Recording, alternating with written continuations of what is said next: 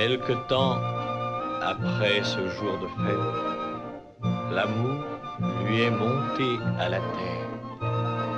Le bel amour, le grand amour pour une femme honnête. Tourne, tourne, mes personnages de son amour, il la poursuit. Mais hélas, elle reste sage.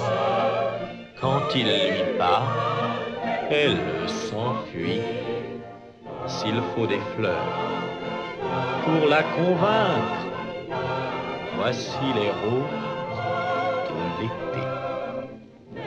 Mais ce n'est pas assez pour vaincre tous ces scrupules d'honnêteté.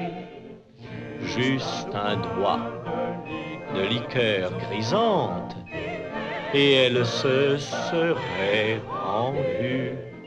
Mais une femme aussi charmante ne boit pas au coin de la rue.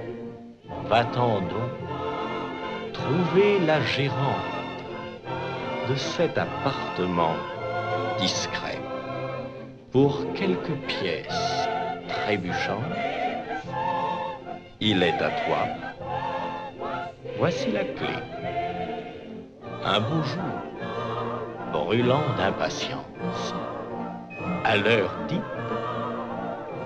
il a mis son chapeau neuf.